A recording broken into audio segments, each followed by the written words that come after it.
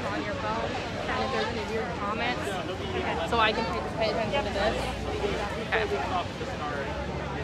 Okay. Well, You might just want to go up there and careful. Now that's what we gotta watch out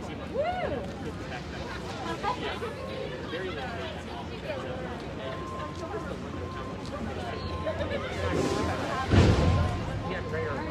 Testing one, two, three. Can you guys hear me? Alright. Come on down. Okay, the sun was out for just a minute, but maybe it'll come back. Come on down.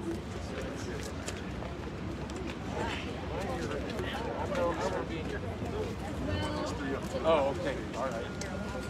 Welcome and happy Monday. Let's give a round of applause for the weather for showing up today. No rain, Mayor.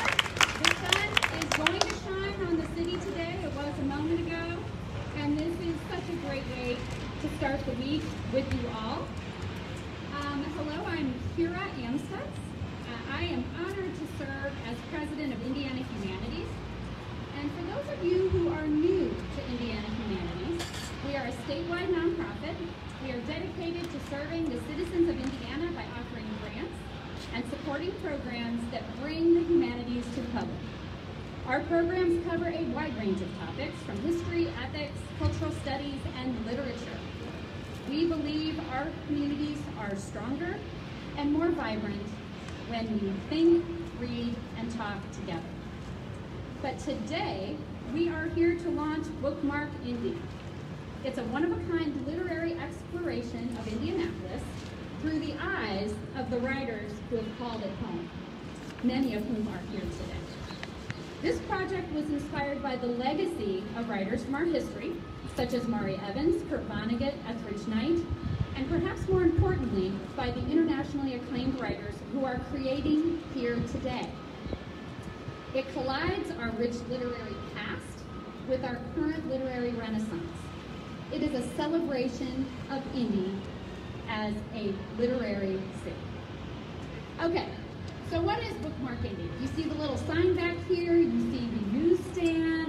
You're thinking, okay, what is this? It is a literal and digital exploration that includes 19 stops throughout the city, one right here, and it's highlighting the places that have inspired the imagination of Indy writers.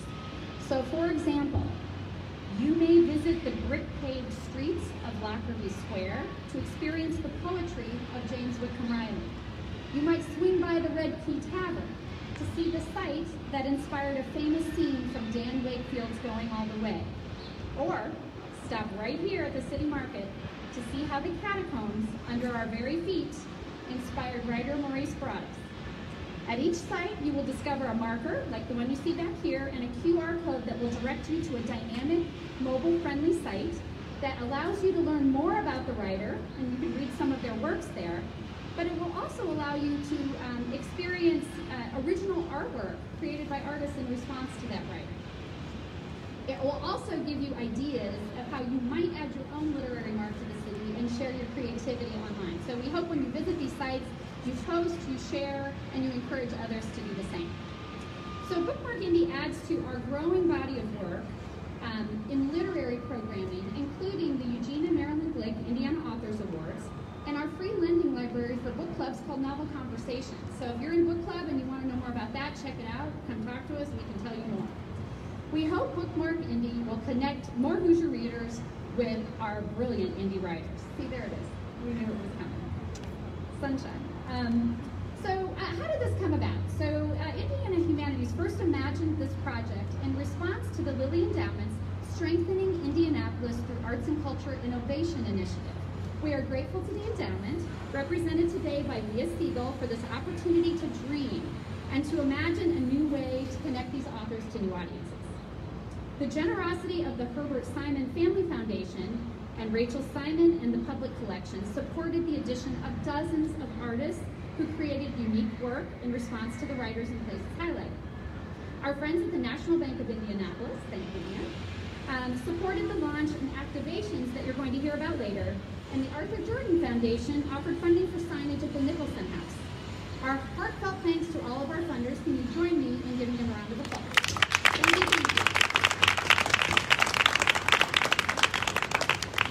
All right, it took a village to design and build this project that has been almost two years in the making. Thank you to Mindy Taylor Ross and Megan Bogart Gettelfinger of Art Strategies for their spectacular project curation. Thank you, friends. Um, the Small Box team for their digital and creative support. And to our friends at Visit Indy for their help with marketing and promotion. Thank you, Crystal. Also the vice chair board. And finally, and perhaps most importantly, to the writers and artists, many of whom are with us today. So if you are a, a person um, who participated in this project as a writer and artist, can you please raise your hand so you can be acknowledged? Okay.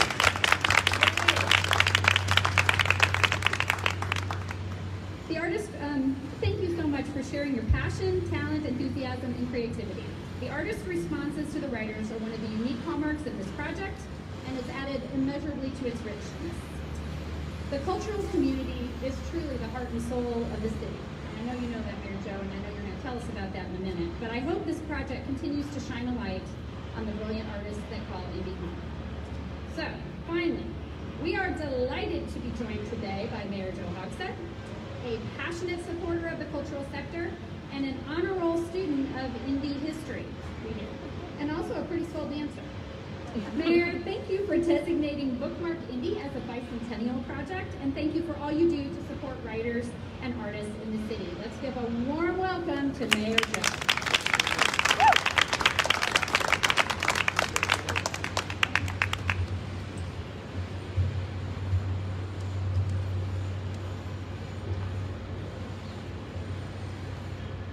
Well, good morning. Isn't it great to be at the city market? Yes. I'm already, uh, I'm already off script. Uh, but what an iconic uh, place in our city. And it's up to each and every one of us to do what we can uh, to make sure it stays that way. Uh, so thank you for being here for that reason, as well as, you know, truth be told, I always aspired to be a writer. I have failed you miserably. but I love to be in the presence of writers because they truly are um, the creative element that separates our community from many other cities our size and bigger. So thank you, Kira, for that introduction. Thank you for having me today. Thanks to all of you uh, for joining us uh, this afternoon, I guess. Uh, it's past noon. um, at one of our city's uh, official bicentennial projects. And again, in the interest of full disclosure, I say that with some measured sadness. As we are near the conclusion of our city's 200th birthday celebration. At times, it has felt as if we put all 200 years into the past 12 months. But nevertheless, it is still a perfect time to. Am I okay? Um, it's a perfect, it's still a perfect time to reflect, celebrate, to acknowledge, to recognize our two centuries as a community. And there is perhaps no better way to do that than by recognizing our city's writers. Indeed, history comes to us largely from our writers.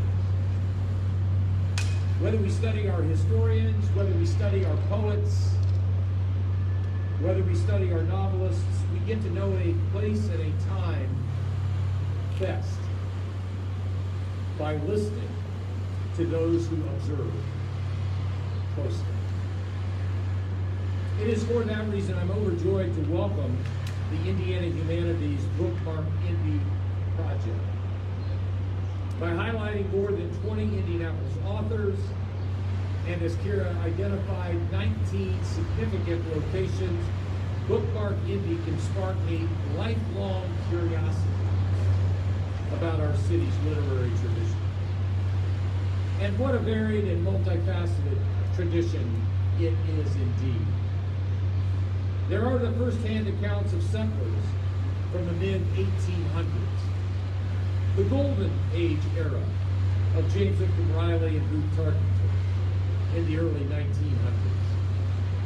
Figures from the 60s and the 70s, like counterculture icon Kurt Vonnegut, as well as figures from the black arts movement, like Mari Evans and Etheridge Knight. Right on down to the voices of today, the voices of the present, some of whom are with us today. Thank you for being here. So I want to thank the Indiana Humanities and their partners, including today's presenting sponsor, the National Bank of Indianapolis. And with no further ado, you've heard enough from me. Now I would like to introduce an Indianapolis writer. That's who we're here today to celebrate. Who among the lineage of authors we celebrate today is indeed Maurice Broaddus. Maurice?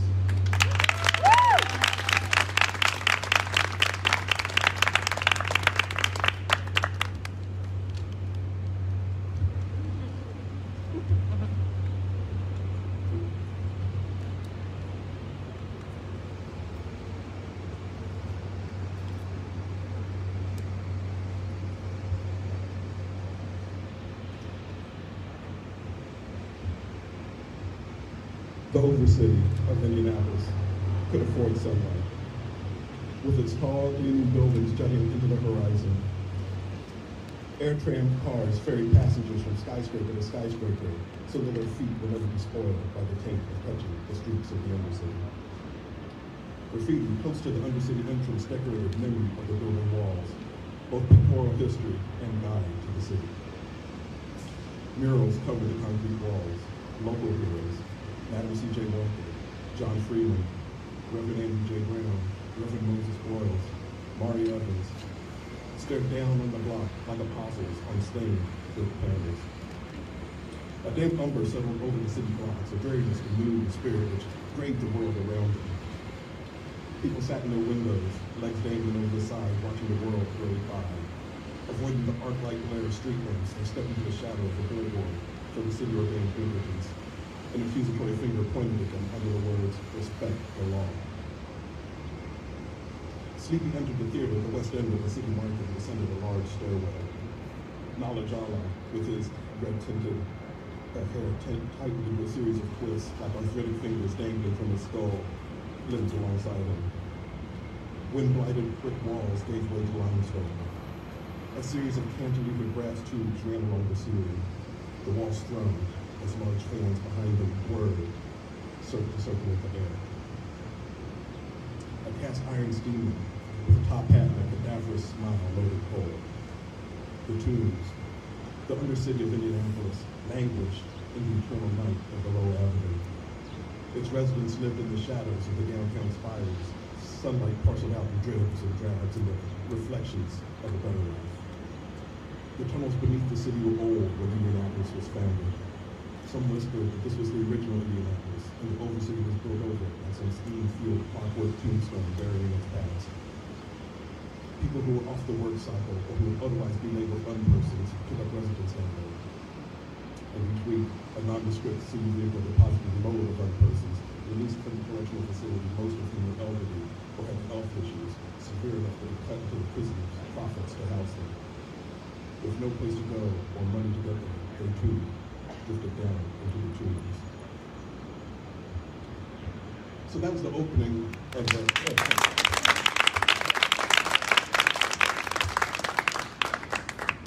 That was the opening to chapter seven of my novel, Pimp My Airship, as our, our heroes find themselves uh, on the run from the law, uh, trying to hide in this uh, reimagined alternate history version of Indianapolis. But I want to talk a little bit about what follows. So, where pen meets place is such a great slogan for the Bookmark Indy Project. You see, Indianapolis never fails to fascinate me. It's the, it's the place I've called home since I was a child, and, and I set most of my stories here because this place moves me, it inspires me, and it helps define me. And since I'm constantly interrogating the idea of what home means in my work, it gives me a, a context to work out my story. Now, actually, I don't even think myself as having that great an imagination. Uh, so I have to go to a place and then soak in its atmosphere and its nuance and, let that, sp- that space speak to you. Uh, so I often would take these tours of like haunted Indianapolis or historic Indianapolis, and I, because I, I love to hear all the, the secret stories, all the hidden stories of the city. So one time, me and my children, we took a tour of the catacombs, and, and the idea of the city that was fascinating. And, and it stirred uh, my imagination, the, the catacombs as the tombs, this, this entire town underneath our streets. And from there, I began the world building of uh, the Indianapolis had become the center of My Airship. But part of my main character's journey is being opened up to the reality that the world is bigger than the I. That there's in fact a we, the community that puts that I into context. And, and, you know, that's, that's, that's kind of our struggle, right? You know, as people, we long to be seen and known. And I've noticed that in all areas of my relationships and in work. Uh, from my work with my neighbors at the Kheprw Institute, uh, to my students, but between my students over the Oaks Academy. Why? Because there's nothing worse than being unseen, than being unheard, than being ignored. And I even see it with me in my writing. You know, it's easy for a writer to feel unseen, unheard, and ignored. You know, we toil alone in front of our computers, spinning stories, and get them published, only to have them slowly sink into obscurity, lost in the noise of all the other stories. I mean, that's the risk. But I do it anyway. Because something in the core of my being calls up and takes hold of me to move pen to paper, wanting to tell the stories of and within my community. My community work informs my writing, and my writing informs my community work. And that work is about seeing my neighbors as gifts in the community, to make visible the treasures of our city. That's the journey of my main character. Know, figuring out what it means to examine your gifts, to find your voice, and join your neighbors into a chorus of voices that will never change. How to make the spaces we call home better, more welcoming, more equitable spaces to create a better future. That's what Bookmark Indy represents. It's an Indianapolis community that cares enough to support artists, that not, that not only sees them, but fights for them, and more importantly, values them. Bookmark Indy reminds us to listen and engage our artists. It reminds us that all of our voices, all of our stories matter, and we have the responsibility to make them seen. That's the place we find ourselves in. That's the place that inspires, and that's what home is. Thank you.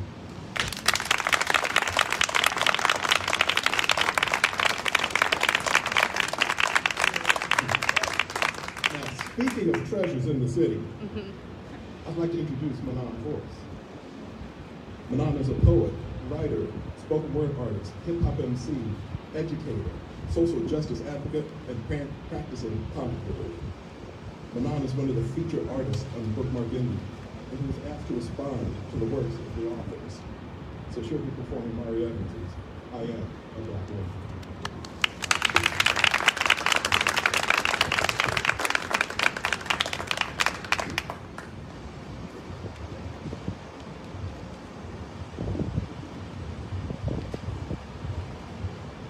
Thank you, Maurice Broaddus, my brilliant friend and writing colleague, a gem here in the city and throughout the nation. Thank you to uh, Mayor Thompson for those wonderful and thoughtful remarks.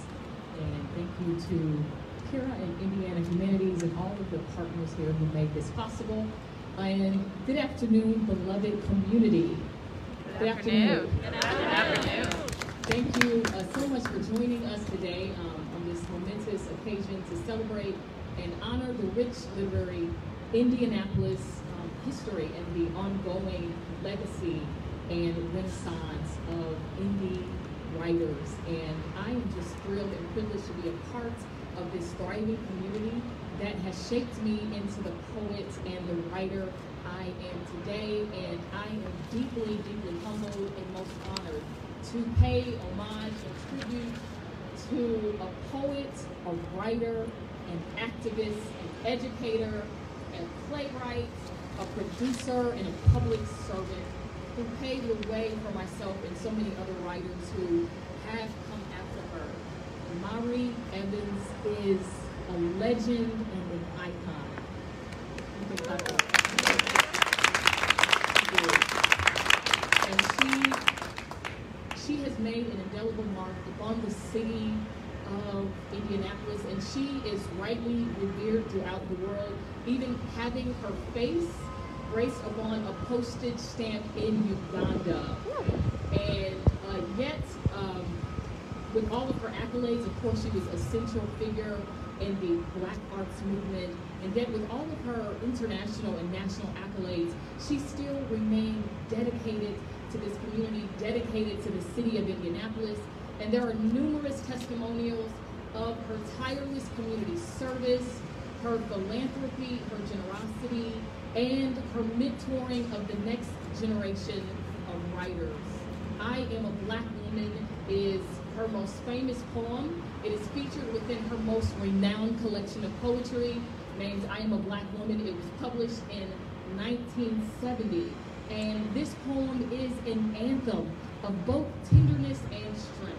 And it is recognition of the black struggle, the ongoing fight for liberation of which black women historically have been and are the most vulnerable, and yet we remain resilient in the face of it all. And it is one of my favorite poems by any poet and writer ever. And so I am thrilled and honored to recite this for you today, paying homage to the great Mari Evans.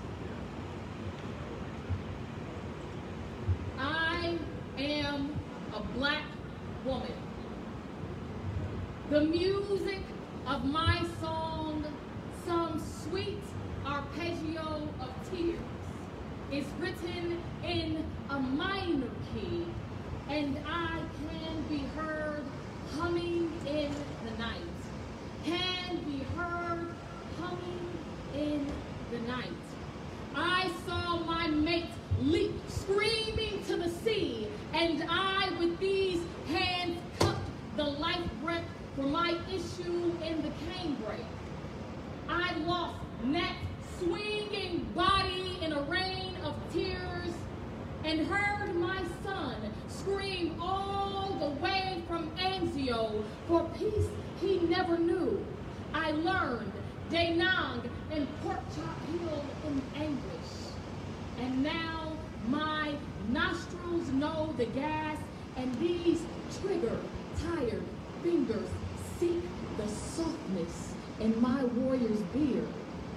I am a black woman, tall as a cypress, strong beyond all definition, still defying place and time and circumstance, assailed, impervious, indestructible. Look on me and be renewed.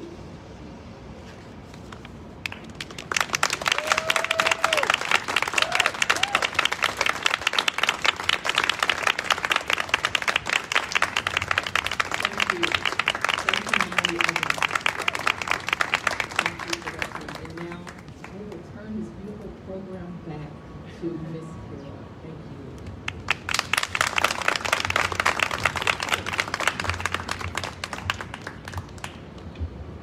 Wow.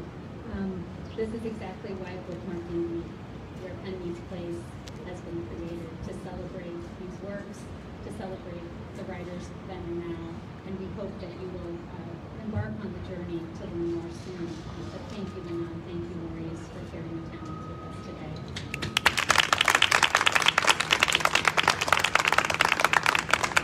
All right, so we are uh, going to cut a ribbon here in a moment, but before we do, I'd like to ask uh, our, our launch sponsor, um, National Bank of Indianapolis, represented today by our dear friend Ann Merkel, who's the Senior Vice President and Chief Development Officer, to come and say a few words, not only about their support of Bookmark Indy, but what happens next, because you're thinking, okay, there are these markers, there's a digital site, but there's more there's more. There are many other ways that you can have fun, experience, and learn with Bookmark Indy. So Anne, would you come up and join us? And then uh, in a moment, we'll cut the.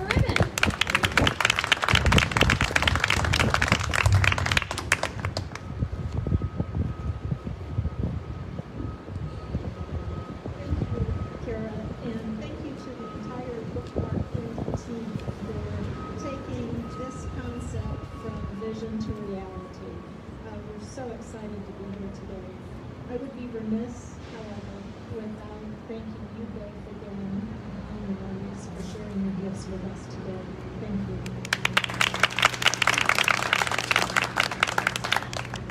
My colleagues and I are very excited uh, to be here today on behalf of the National Bank of Indianapolis. We are proud uh, to sponsor this one-of-a-kind and uniquely Indianapolis project. Indy's thriving arts and culture seem central to the ongoing success of our city and our state. So as our city's largest locally owned bank, the National Bank of Indianapolis believes in building partnerships that enhance the quality of life for everyone in our community. That's why we are so pleased to support projects like Bookmark Indy. As Kara said, in a few minutes, we will officially cut the ribbon to launch Bookmark Indy. As you've heard today, that means you can visit any or all of the 19 sites located from the pyramid all the way down to Garfield Park. You can also access information about the writers and their inspirations and experience their artistic responses anywhere, anytime at bookmarkindy.com. And if you're particularly interested in a certain site or a particular author, you'll have a chance to dig even deeper. Over the night, the next 19 weeks, each site will be spotlighted with an event or an activation. In fact, it all starts next week with a light show projection at Shortridge High School. Drive by during the evenings of April 20th, 21st, and 22nd and see the yearbook photos of alumni Kurt Vonnegut, Dan Wakefield, and Madelyn Pugh, and former teacher Marguerite Young. They'll all be projected on the front of the building. Then in May, there will be a haiku competition to honor Etheridge Knight. And then in August, a toy workshop to honor Johnny Gruelle, who was the creator of Raggedy Ann and Andy. Other events poetry reading and a book launch party with Adrian Matejka, an Indiana Avenue celebration, a scavenger hunt, and walking tours of Booth Tarkington, James Whitcomb Riley, and Kurt Vonnegut's Indianapolis. Information on these events, again, can be found at bookmarkindy.com. However, you can also find out more about them in the entire Bookmark Indy project by picking up one of these brochures. Copies of these brochures are available here today. Uh, they include a map as well as an interview with Maurice and will be available across the city over the next few years. You'll find them in these portable newsstands and they will travel from the convention center to fairs to festivals and even to busy intersections. They will also be distributed this week in the keep an eye. Okay, I hope that we've whetted everyone's appetite, and I think it's time to cut the ribbon. So will you please join us back on stage?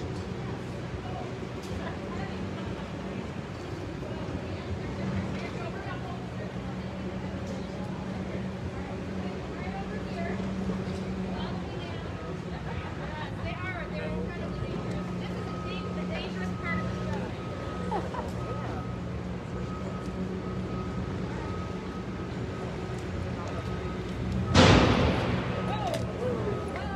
I got it.